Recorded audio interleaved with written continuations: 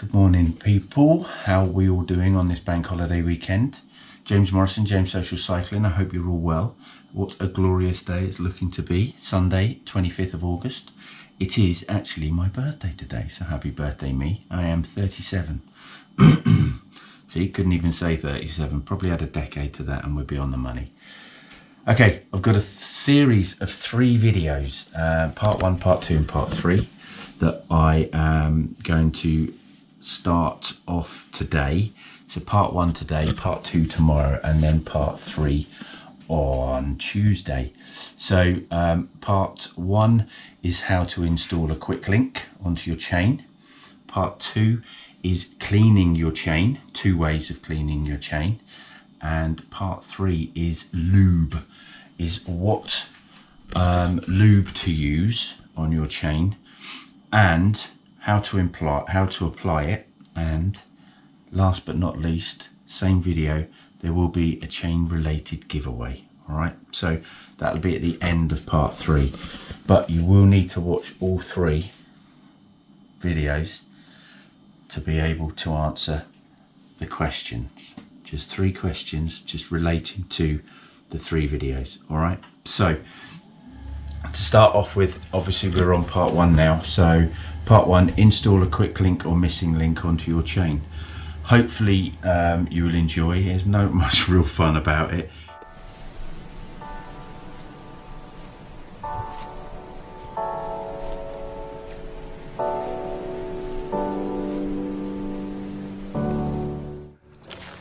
So to swap the chain over, you're going to need some tools.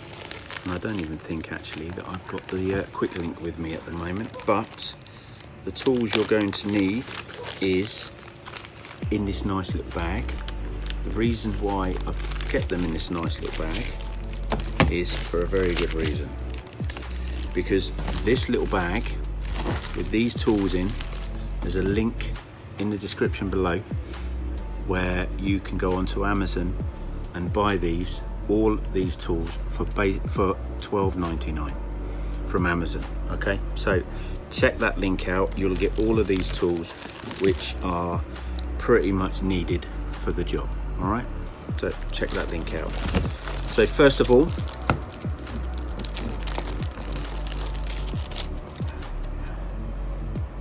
so we got a chain link tool.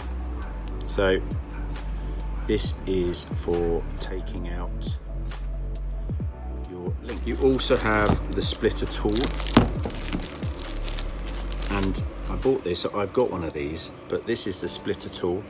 So when you've got the chain link on or the missing link, it's either called chain. So it's a missing link or a chain link. But when you put the missing link on, you've got one way of opening it and then you've got the other way where you can actually close it. So again, I will show you how these are all used. Measure. So you have a 0.1 and a 0.75. So you can set this onto the chain and it will tell you what and how much wear you've had.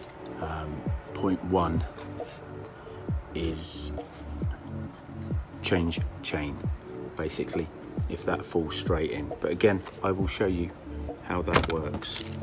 All right, so link below, 12.99 Amazon. So be sure you got the right tools. You'll have to excuse I've got GoPro. I'm going to try and obviously bring you some close up uh, when working on the bike. And um, yeah, hopefully I'll uh, give you the information you need. So bear with me, you'll hear my voice but the rest of it will probably be from the GoPro. So I'll catch up with you in a bit. Just going to check the chain itself. So as you can see, that's uh, that's one. I know this chain's brand new anyway. The cassette and the chain is brand new. So, so just testing that, and you can test the 7.5 as well. So again, that if that falls through, then you would turn it over to the one and if the one fell through then basically you are um, your chain needs changing also you need to look out for and you'll have to excuse because I don't know if you can see this right there but this is the main one of the main links to the chain. So when you're looking at removing a link and this is what we call a link do not go for something like this link because it is the main link. You always go off to one side of the link and then take something like these. You'll find maybe a couple on here I haven't looked but you'll find one or two maybe on on some of the other chains you'll find a few more. But these two is what you really want to go for something that isn't the main link. But what I'm going to do is I'm going to take off the wheel slacken off the chain and everything to make sure I'm going to stick it all in the higher gears the smaller cogs. Makes uh, the chain a lot easier to manage all right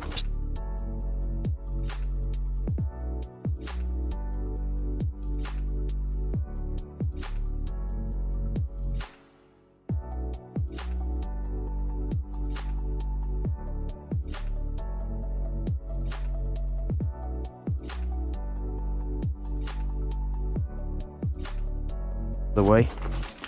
Just so you know the defy is up for sale. Anybody's got any interest in it give me a shout.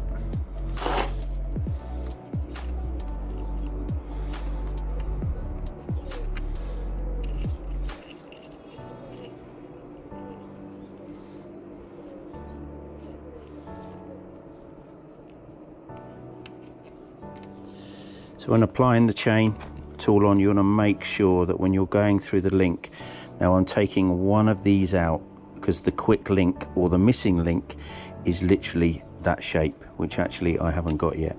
So when you're going through to the pin, you need to make sure that that is very straight. Give it a good hold and then literally just turn it until you feel the break.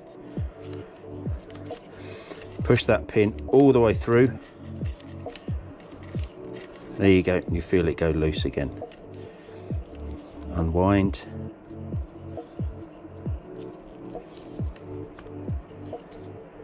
And there you have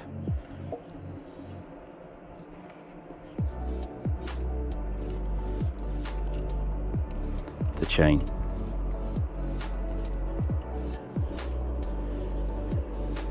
Again, giving yourself a bit of room there making sure it's nice and straight. Okay.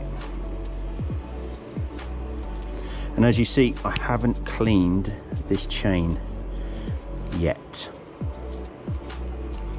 There you go. It's just gone all loose.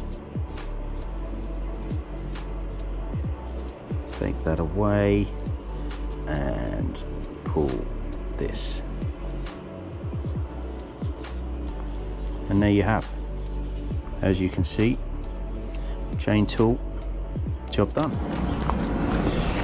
So this is what is called a missing link or quick link. And as you can see I have a 11 speed um, SRAM version but I have a Shimano chain but that is fine. These work fine on there. And as you can see is what you've got here is just a link which which goes together like so and clicks together. But let's let's show you how to do this. In this situation you're going to need this. This will hold the chain together with a bit of slack and you're going to need the chain. So you're going to need a bit of slack here so you want to sort of come up maybe a couple. Just so you're not going to get in your own way. And then when you pull this one over you're then going to want to literally so then that just gives you something that you can play with they do have directional arrows on them, so make sure that the arrows are going the right way. For instance, on this side, you're looking at this way. and then on this side it's the opposite side and then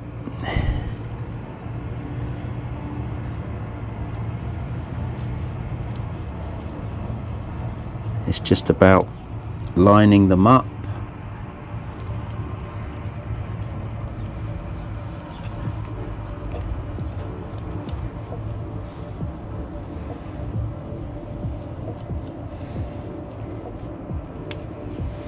I say it's just about lining them up, but that one doesn't want to. There you go.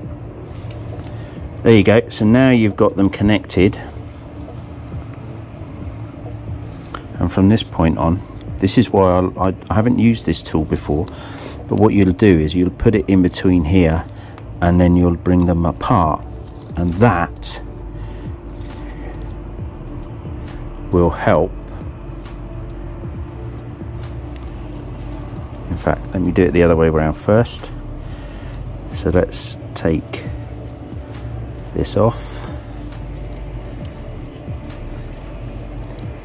I keep wanting to put things in my mouth which is no good because I won't be able to talk to you. Take the tool.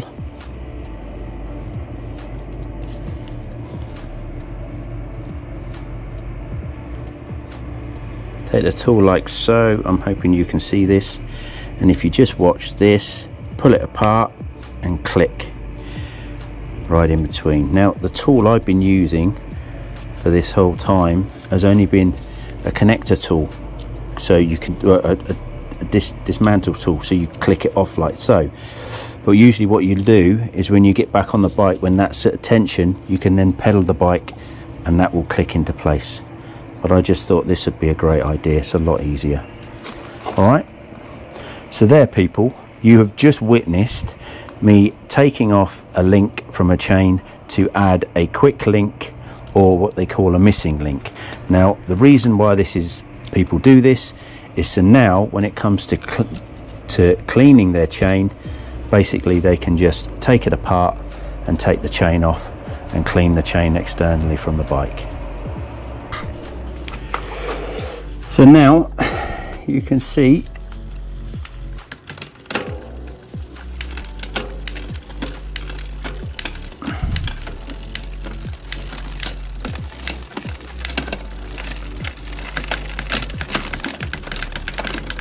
so the, now the chain works. Let's get up to an easy gear. There you go. and there you have it and there's a quick link or the missing link so now you can take that off and take the chain off whenever you're needing to clean the chain you have a link down below in the description which will have these three items I will also well I won't put a link to the quick link. The reason for that is is because you need to buy the quick link that goes with your chain. So again if you've got a Shimano then you'll need either a Shimano SRAM or a KMC quick link or missing link, but you need to tally that up with what gears that you have as well. So if you've got a 7, 8, 9, 10 or 11 gear bike, you have to make sure that the quick link will fit your chain uh, by knowing what gears because they're all different. Okay. Um, hopefully you got some good information out of that guys and girls.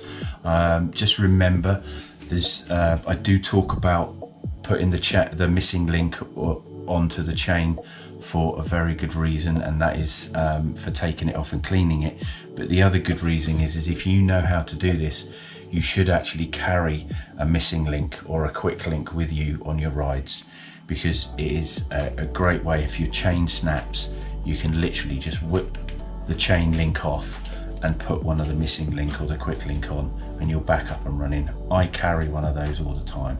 So that's the other reason.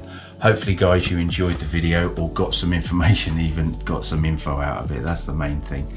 Um, appreciate your support. Any comments down below, please do. Don't forget if you're not subscribed, please subscribe.